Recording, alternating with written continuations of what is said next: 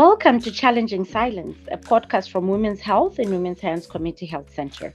On this show, we are having much needed discussions about topics related to female genital mutilation or cutting with survivors, advocates, and community members.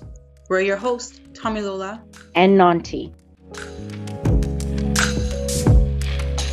Challenging Silence is brought to you by the Flourish Project, made possible through funding from Women and Gender Equality Canada. You can listen to this podcast series on all major podcast listening platforms and our website, flourishaccess.ca. Please note that this podcast covers topics of a sensitive nature, including domestic abuse and violence. To ensure privacy and safety, some guests have chosen to remain anonymous. This podcast is age appropriate for 16 plus.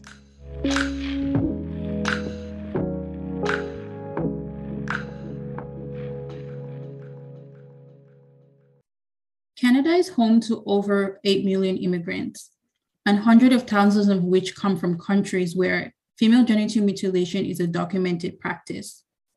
Although there are laws in Canada set in place to prosecute individuals who perform or aid in the performance of FGMC, Within immigrant communities, there are many Canadian born girls at risk of undergoing the practice, whether that is secretly here in Canada or when their parents take them abroad.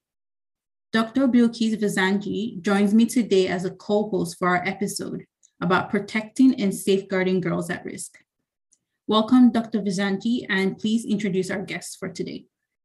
Bonjour, Tomilola. Thank you for uh, having me. Thank you for inviting us and this is really an honor that we today are able to have a different twist from the various other podcasts that uh, you have carried out. So today we are blessed to have a specific lens on uh, immigration. Of course, when we talk about the topic of female genital cutting, we are looking at a population that is originally coming from selected countries where it is uh, known to be of high prevalence of the practice. Of course, I'm a bit hesitant here because I would like to make sure that we choose the right words to say the right things. And the elements referring to prevalence are estimates, and which is why I want to make sure that we say the right things. And so we need to understand what happens when it comes to immigration experiences, when it comes to women, girls, families coming from countries where the practice happens to a country like Canada. And we have the pleasure today to be able to listen to Maître Annick Legault. She is a lawyer of at least 19 years of experience in immigration and refugee challenges, especially, of course, to Canada. It's been almost now three years that she's been involved very actively looking at uh, one of the objectives of the GenderNet project, where we had the opportunity with her leadership to better understand what happens when a girl or a woman is asking asylum to Canada and all the complexities related to that. In addition to be a lawyer, she recently inaugurated a clinic and she is a co-founder as well as the current president and it's called Migrant Justice Clinic. Welcome, Maître Annick Legault. Thank you, Bilkis. Thank you, Tomilola, for having me. I'm very honored. Thank you. So, one of your expertise is to really attend to the safeguards issues, and especially safeguarding girls by informing those who don't know who is exactly at risk of FGMC when we're talking about the Canadian soil. I want to start the conversation about your perceptions, your thoughts on what exists here in Canada about safeguarding girls. Well, from an immigration and refugee lawyer's perspective, one of the safeguards would be to help young females who enter Canada with their parents we do have the refugee system that can definitely prevent them by granting them asylum to make sure that they're not returned to a country where the risk exists. So that is definitely one of the options. So for Canadian born children or children, for instance, migrants who come to Canada who claim asylum but have children who are American, for instance, who will not be granted refugee status, but it would still be at risk because if the parents were to be deported, I give an example, Nigeria, the children would follow there are other immigration mechanisms that maybe we can we can attempt in order to protect them as well. But then, well, there would be the whole aspect of education. You do have sometimes even parents who come here for another reason, and then after they're given status, choose to return. So the mechanisms are supposedly, and I say supposedly because in effect have not been used, would be our criminal system and or a youth protection system. But both in my humble opinion are extremely flawed. Uh, the best way to have people not share their fears or not share their preoccupations is to threaten them with criminal procedures or threaten them with um, the sanctions or taking children away or whatnot. So I'm not too sure how these other mechanisms supposedly there to protect would in effect protect. I do think that mainly the best way to protect would be to actually just through education and the whole process of migrants arriving here is awareness and that different aspects. So the mechanisms per se, I find them not the best, definitely. Uh, I do think that explaining to people that it is a crime in Canada to have your daughter undergo this type of mutilation is a crime, basically, to maybe share a position that indeed the Canadian population has chosen. It is a crime. But nevertheless, I'm not too sure that uh, these mechanisms or these spaces are actually effective in helping young girls being prevented from any type of mutilation, actually. Thank you very much. That's that's really the stage for you know understanding what the context, what the the legal context is in Canada. Can you talk to us about where does Canada stand in terms of the United Nations High Commissioner for Refugees recommendation in terms of gender in, in refugee law?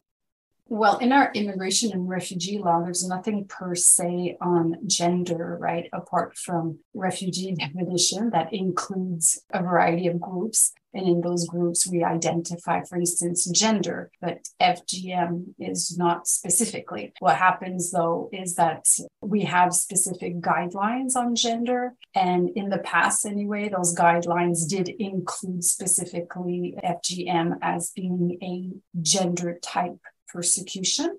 I think Canada's always been a pioneer when it came to recognizing different gender specific violences. Does so, I mean, I don't think that we're not going by UN standards the UN have not made any specific comments on FGM. What they have done, I think it was the end of the 19, uh, 2008, they produced a document specifically addressing female genital mutilation. They did, um, but that document, the federal court here in Canada said it was a very significant document, important to be mentioned and to be assessed when we have that type of case that is brought before the Immigration and Refugee Board, which is the board that uh, refugee claims. So, I mean, I think Canada's is quite where it, it should be. But the difficulty we have more is that because a lot of times girls come with their parents, it's just automatically presumed that because parents say no, hence they can protect their daughters from it happening instead of really understanding the logistics and how it can happen the people who li- your listeners know of how this happens but a lot of times i think canadian people other types of people who are not familiar with fgm could not understand that even if the parents say no well when you know during spring break summer break whatever break they go to the they go to the village and i mean their little girl comes back to them and it has happened. So a lot of times i don't think parents consent necessarily changes anything so um, that reality is not always understood. And or as well the social stigma associated to the psychological pressure, the social stigma, being scared of isolation, being scared of not being part of their group, uh, identifying to their elders, to their peers. So all of that can put as well a young girl, even though her parents are saying no, to her to want to do it or her to acquiesce and follow through with the procedure. Exactly. And I think you really are unraveling complexities, you know, around who, when, and how. I will ask just to own back in a comment that you had made. You had spoken of consent in terms of parental consent and how at times the parents themselves are not necessarily giving consent for the procedure to happen on their daughters especially in the cases of vacation cutting. And to give our listeners a little bit of context, vacation cutting is the act of family members taking a girl back to their country of origin or country where FGMC is known to be practiced. And this usually occurs during a summer vacation when they have months away from school. We know that in Canada, the law since May 1997, FGMC has been an illegal practice, and that includes whether it is performed here in on Canadian soil or whether a parent or adult takes a young girl outside of the country. Why do you think, even though with the laws in Canada, there's still girls who are at risk of vacation cutting? And how is the laws not completely protecting them? Because we do have this law, but we can see that it's not a 100% safeguard for girls. Mm-hmm.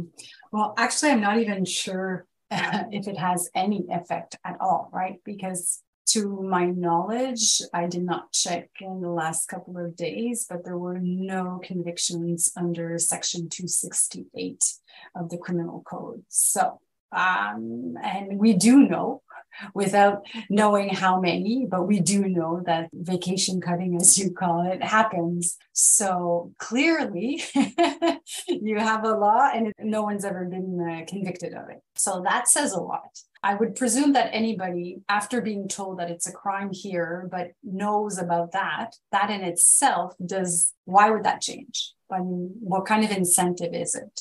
And then you can say, though, how about youth protection? Because that would be the biggest open door, right? Because youth protection do have girls who come to them and who are in this situation, or do have girls who are at risk of traveling in the summer and how things happen. But because of all the intricacies that I mentioned earlier, I'm not so sure anybody's keen on just coming out before and just trying to accuse a parent without knowing because you do have to understand that the only way you can accuse someone is if actually the little girl was cut right? So you're not able to accuse under the criminal code for the parent who's thinking of sending the child abroad. And how would you be able to prove that that's what's going to happen I mean, it does make sense for a lot of people who are here and have family abroad to go in the summer. And that's actually, when you think about it, it's, it's a great experience and it's a great uh, family gathering moment. So I really don't see how this law helps at all, but rather creates fear. The idea, though, to say that Canada is against FGM. That I think is is okay. It's a, it's a, it's a position. I agree with that position. I'm just not sure criminalizing, for instance, a parent after traveling. How does that help the little girl who's undergone the procedure? How does that protect her after they've come back, right? And then what that means that we have to look at her genitals, we have to have her do a medical examination, and we have to destroy a family for something that in their environment was sacred. I don't see how that works. So I do believe that it doesn't have a great impact. And if it's still happening today, is because I do not think that the the, that we're still able to, on a more global way, able to really share our message. We have to find the proper words to be able to to share our message. I definitely agree with you on that in the fact that having laws in place is not really protecting and safeguarding girls at risk of vacation cutting. And it's not necessarily the way to go about it. And if we do want to do something to prevent this from occurring, In your experience working with immigrant communities and as a lawyer, what way do you think the Canadian government can go about this with protecting and safeguarding girls? So, away from using this threatening, as you said, mechanism of if you do this, we will prosecute you. But obviously, that threat is not working. I think education is the main way. And when I say education, it's not really, it's sharing uh, a, a, a core value and doing everything you can to make sure that you it, it's not just understood that it's received and it's it's taken in because even if you and you could even share with children in that context if the children are not scared that their parents are going to go to prison and you just do these open focus groups and conversations within schools. I mean, children, when they just arrive, they're in classe d'accueil, they're in specific groups. I mean, you, you share with them and you don't scare them and you give them, you know, you explain to them, you explain to their parents when they're meeting with different government officials at different stages if the little girl is not scared she can maybe feel comfortable. Oh i i was told that you know they're not supposed to do that. I think they want me to go home this summer and maybe it's going to happen. I think we're going to have much more openness if things are just shared in a less dogmatic scary way Yes, you are definitely right about that. All the, the points that you've just said. And it's similar to the the goal and aim of the Flourish Project at Women's Health and the goals at RHC for FGC at GenderNet Plus, educating families, children, community members, because really it takes a village to raise a child. So it's not just the parents that need to be educated. That type of educational awareness is definitely very important with reaching more people and safeguarding and protecting girls from FGMC we do that uh, in collaboration. This is why it's uh, a pleasure to have uh, the Flourish Project colleagues at the various with various expertise at the RHC for FGC GenderNet project. And um, you know, you uh, were recently writing within the GenderNet project some of the analysis you did on the decisions which are made when it comes to FGM as a ground for claiming asylum in Canada. Can you sort of talk to us a, a little bit about what are the results of some of these analyses that you've done? How credible are uh, the, the various instances to some extent? Well, the the research was specifically on the refugee appeal division, so the decisions that were rendered with regards to female minors, Nigerians that were before the appeal division. So what came out, and only obviously we only had access to the public, the, the decisions that were made public, and that's only a small percentage. I think we're talking less than 5%. So we don't know how like representative it is of the other female minor Nigerian girls fearing FGM or having undergone FGM. So, what came out is, for instance, gender guidelines that exist were very rarely being mentioned in the analysis of the decision. As well, what was I guess, in my opinion, uh, a bit more surprising is that even if we're dealing with children, the guidelines on the children were extremely rarely used in reference to, and when they were used, it was solely in the view of uh, just saying that the procedure went as it should be uh, versus actually developing a whole analysis for the children. And this brings me to the point that was the most revealing, which was the little girl's narrative. So their fear of persecution of FGM was very rarely analyzed from their lens. It was from the lens of the parents. So if we didn't believe the parents and we didn't believe whatever they were claiming, well, the daughter's case was dismissed as well. And or we said, well, because the parents can protect her if she goes back, so she can move to another area. So, if you had any recommendations to give in terms of better training, for instance, uh, I'm thinking of youth protection offices. What would be sort of if we had the infinite means that we you would recommend?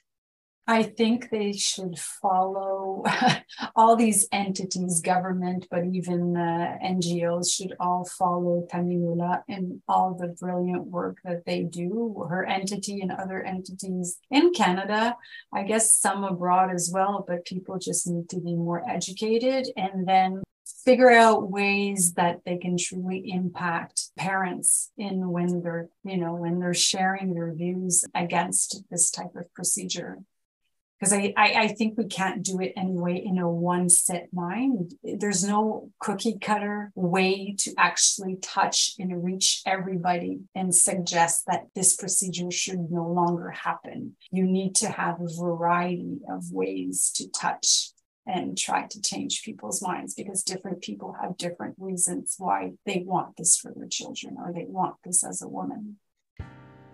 It was really an enlightening conversation as far as I'm concerned. And I'd like to say thank you to my colleague Annick for the time she spent in uh, talking to us about complex issues we hardly touched upon some of the issues, and there's so much more to say. And I'm sure that we'll have other opportunities via the Flourish Project and at the uh, partnership that's building with Women's Health in Women's Hands. So thank you very much again, Tomilola, for uh, inviting us, and thank you, Annick. Thank you, Bilkis and Annick, for joining us for today's episode. We had a good discussion about safeguarding girls at risk of FGMC and the laws in Canada to protect them.